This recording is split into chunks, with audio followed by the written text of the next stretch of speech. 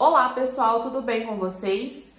Eu me chamo Mercileia e no vídeo de hoje eu vim falar a respeito dessa notícia aqui que tá aparecendo para vocês, que saiu no dia de ontem e tá circulando aí por todos os canais de comunicação, tá? Seja o WhatsApp, Telegram, é, até mesmo aqui no YouTube é, dessa notícia que não foi muito interessante para a grande maioria das pessoas que fizeram a autorização de residência da CPLP. Desde que saiu essa notícia, a criação dessa plataforma para poder solicitar essa nova modalidade de autorização de residência aqui em Portugal, que é a CPLP, para pessoas que são de países de comunidade de língua portuguesa várias pessoas correram ali no site para poder solicitar a sua autorização de residência. Por quê? Desde o início foi esclarecido que seria uma forma mais fácil, mais rápida, menos burocrática e que teria os mesmos direitos do que uma autorização de residência normal feita através da manifestação de interesse. A única diferença até então citada por todas as pessoas seria apenas que seria um certificado digital ao invés de um cartão, como é feito no título de residência. Por conta disso, por ser um processo muito mais facilitado, tanto por parte do CEF, tanto por parte das pessoas, né, por ser um processo totalmente online e garantir ali a sua autorização de residência em 72 horas, milhares de pessoas fizeram essa troca da manifestação de interesse para a autorização de residência da CPLP e conforme dito desde o início, teria os mesmos direitos do que uma pessoa que tem ali o título de residência em cartão, tá? Porém, na tarde de ontem saiu essa notícia que eu vou colocar aqui novamente para vocês. Então, essas pessoas tiveram ali que cancelar a sua manifestação de interesse para conseguir dar continuidade na sua solicitação da autorização de residência através da CPLP. E a grande maioria das pessoas fizeram isso, devido a desde o início ser informado que teria os mesmos direitos que uma pessoa que tem autorização de residência através da manifestação de interesse e possui um cartão. Porém, quando foi na tarde de ontem, dia 11, é, foi saiu essa notícia aqui que eu vou colocar para vocês, informando que a autorização de residência da CPLP não dá direito à livre circulação no espaço Schengen. Essa informação foi confirmada pelo Alto Comissariado para Migrações em comunicado.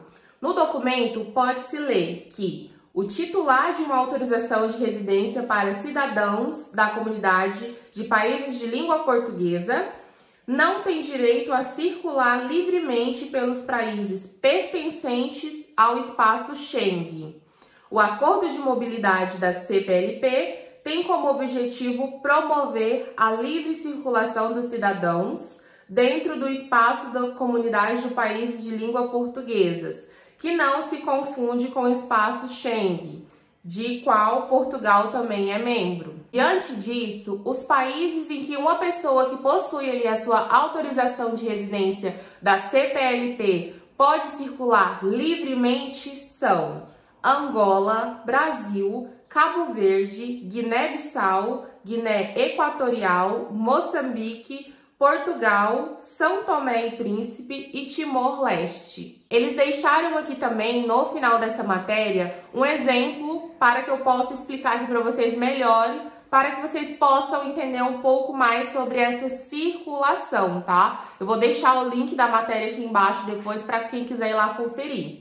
Por exemplo, um brasileiro que esteja em Portugal com a autorização de residência da CPLP e queira passar um fim de semana na Alemanha, por exemplo, pode ser barrado pelas autoridades alemãs.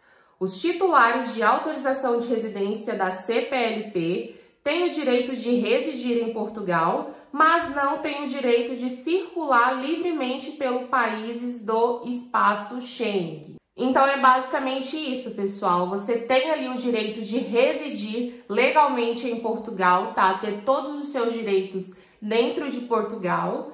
Tem o direito de livre circulação dentro dos países de comunidade de língua portuguesa porém você não tem livre circulação dentro dos países pertencentes ao espaço Schengen.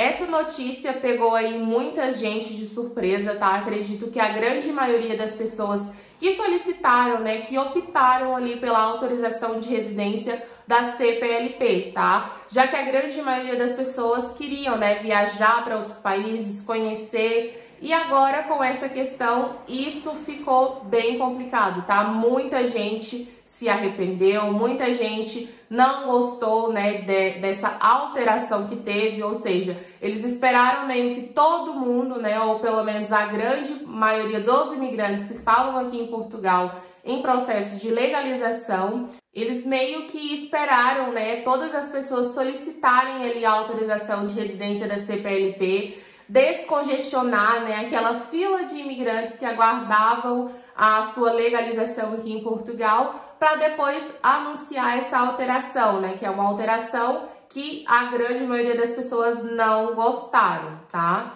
Bom, esse foi o vídeo de hoje, tá? Que eu vim trazer isso aqui para vocês, que eu achei bem importante, tá? Eu tinha compartilhado lá no meu Instagram, mas eu resolvi trazer aqui para vocês também. Comentem aqui embaixo o que, que vocês acharam né, dessa alteração, modificação que teve e até o próximo vídeo.